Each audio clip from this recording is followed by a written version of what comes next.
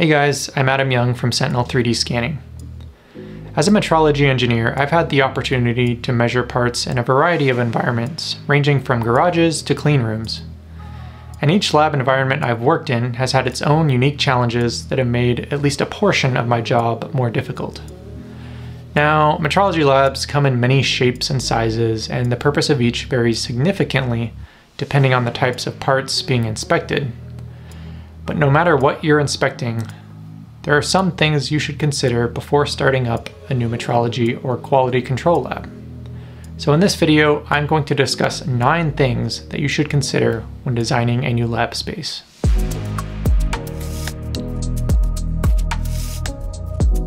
One of the first things you should consider when starting a new lab is the temperature of your lab space. Materials expand and shrink as a function of temperature, when temperature gets warmer, parts expand. When temperature gets cooler, parts shrink. So it's important that all labs, IQC and OQC for instance, measure parts at the same temperature. In fact, dimensional inspection standards actually specify the temperature that parts should get measured at. According to ASME Y14.5, unless otherwise specified on the drawing, parts should be measured at 20 degrees Celsius or 68 degrees Fahrenheit. Just like the parts you're measuring, your inspection equipment will also expand and contract during the measurement process. To limit how much this occurs, many inspection equipment manufacturers specify a temperature range that their equipment must be within in order to hit their accuracy specifications. But how close to 20 degrees Celsius is good enough? Well, that will depend on the coefficient of thermal expansion, which is a property of the material your part is made of, and also the tolerances on your drawing. Calculate how much your parts will expand given a certain temperature change, and see how that compares to your tolerances. If you're just looking for a good rule of thumb, the Metrology Handbook recommends 20 degrees Celsius plus or minus 1 degree for general purpose dimensional calibration labs. But what if you can't maintain the temperature you need to achieve in order to measure your parts at an acceptable accuracy level? You can still measure your parts, but you will have to correct your measurement afterwards. Some CMM manufacturers provide temperature compensation as an option for their CMMs. This corrects for expansion and shrink of the machine and also comes with temperature probes to place on or near your part in case the part is at a different temperature than the machine. Once your lab space is set up, make sure to do the following to reduce the effects of temperature variation. 1. Wait a few hours before measuring your parts so that they can reach the same temperature as the lab. 2. Spread thermometers throughout the lab to monitor temperature consistency. If the temperature isn't consistent, get some fans and move the air around. And 3. Identify heat sources and ensure parts and measurement equipment are not placed near these heat sources.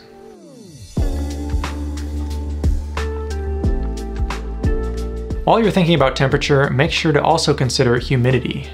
Unfortunately, humidity and temperature aren't two independent things that can be easily controlled on their own. Making a change to your space's temperature may also have an undesired effect on humidity, and vice versa. Bad stuff can happen if your humidity is too high or too low. For instance, if your humidity is too low, static electricity can build up, causing you to get shocked every time you touch something that can discharge it. On the other hand, if your humidity is too high, condensation can occur causing rust to build up on your precision equipment. The Metrology Handbook recommends a humidity range of 20 to 45% for general purpose dimensional calibration laboratories. A few years back, I used to work in a metrology lab that was supposed to have good environmental controls, but unfortunately that wasn't the case. I remember one weekend I came in and the lab felt like a rainforest, and I had left some V blocks out over the weekend and there was already a layer of rust on these V-blocks. Needless to say, I wasn't too happy.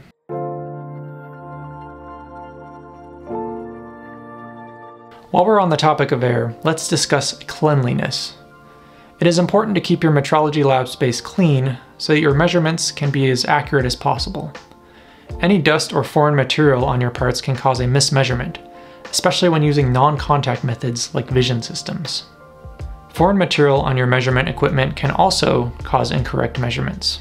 Think particles on a CMM stylus. Failing to keep your lab space clean increases the chances of these types of errors occurring. In extreme cases, you may also want to consider making your lab a clean room.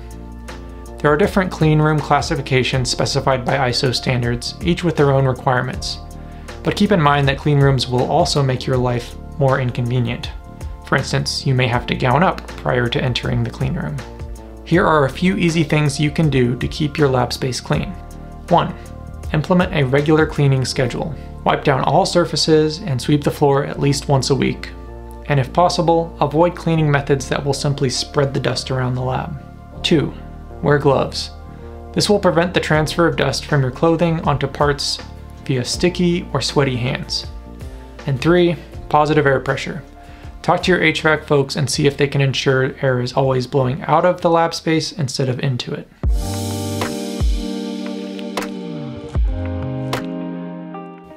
Although it seems obvious, we're also going to talk about the size of your lab space. When finding or specking out a space for your new metrology lab, make sure to consider footprint size, ceiling height, and door size. The footprint of your lab should be large enough to accommodate the equipment you have right now, plus any equipment you plan to purchase in the future as well. The footprint also needs to be large enough to allow for the servicing of your machines. Most machines require regular service such as calibrations, repairs, and preventative maintenance. While performing these tasks, service technicians may require access to the back and sides of your machines. So although it is tempting to put a machine right up against a wall, enough space should remain to accommodate whatever needs to be done. In fact, some equipment manufacturers will even specify how much space should be made available for a given machine. Ceilings should also be tall enough to accommodate taller pieces of equipment. CMMs, for example, tend to have very tall quills, and I've seen several situations where labs have had to have their ceilings heightened in order to accommodate them.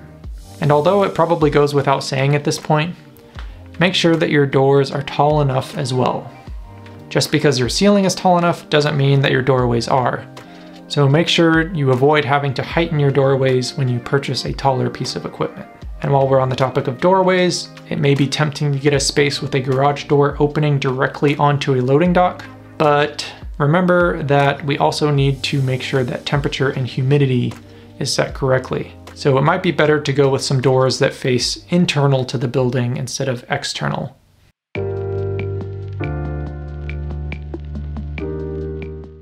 The next thing you should consider is lighting. Although it might not be super obvious, lighting can be extremely critical in a metrology lab. The first reason is due to temperature. Sunlight coming in through a window could cause the part or equipment to heat up to a temperature that is higher than the air around it.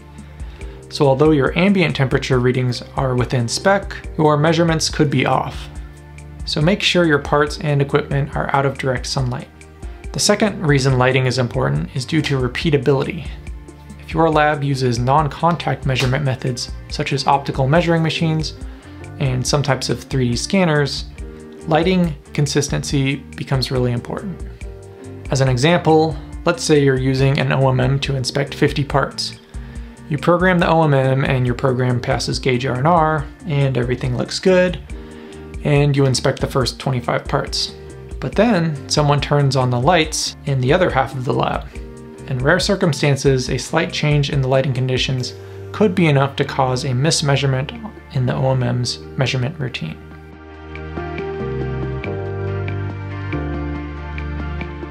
Another less commonly thought of factor to consider is noise. Why would noise matter in a metrology lab? Well, besides saving your eardrums and allowing you to carry on a conversation at a normal volume level, a quieter workspace can be useful when running automated programs on CNC inspection equipment like CMMs. While running these programs, machines typically emit beeping noises to indicate both successful and unsuccessful measurements. If you're working on multiple machines at the same time, or have walked away from the machine, it's nice to be able to pick up on a failed measurement so that you can go investigate what is going on before the machine is paused for too long.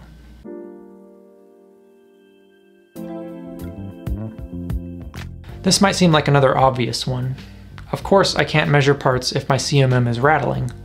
And yes, large vibrations will cause movement between parts and your measurement equipment, and could even damage your equipment, but much smaller vibrations, vibrations you can't even feel or hear, can also impact your measurement process. Situations in which the part is separated from the measurement equipment can be especially susceptible to small vibrations. Structured light 3D scanners are a good example of this. In fact, higher end structured light 3D scanners like this Steinbichler have built-in monitoring to ensure the part does not move relative to the scanner. More sensitive equipment, like non-contact surface profilometers, will pick up extremely small vibrations. For these types of machines, it's best to purchase equipment that will isolate the measurement tool from any vibrations coming through the floor. Here are a few things you can do to prevent vibrations from becoming a problem in your lab. 1. Don't put your lab space near vibrating equipment, like lathes or mills. 2. Install your lab in a space with a concrete slab Avoid putting your lab anywhere but the base floor of your building. And three, don't use any type of flooring that will transfer footsteps, displacement, to the measurement equipment when walking by.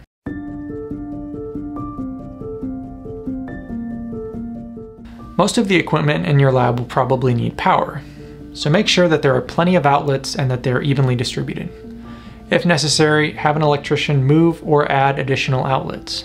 Thankfully, most metrology equipment only requires 120 volt power, but there are some machines that will need something higher. For instance, GOM's 3D scanning cells require 200 to 500 volts, so make sure to check what your equipment needs just to be safe.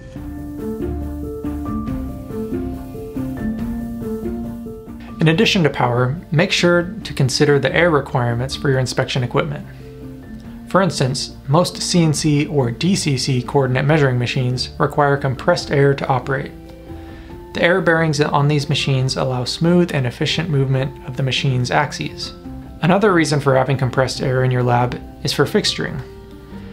Non-rigid parts often require a vacuum fixture in order to suck the parts flat during the inspection process, and having an air supply allows the use of a Venturi pump when a vacuum pump may not be available. And remember when we discussed cleanliness earlier in this video?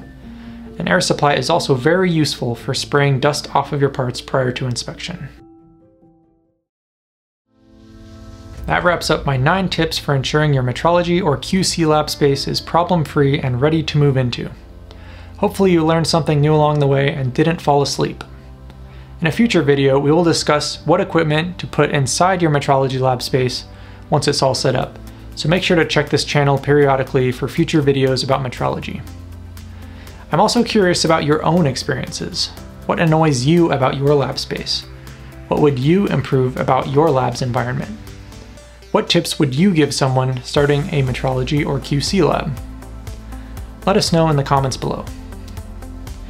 And if you ever need 3D scanning services for either inspection or reverse engineering applications, Make sure to check out Sentinel 3D Scanning at sentinel3dscanning.com.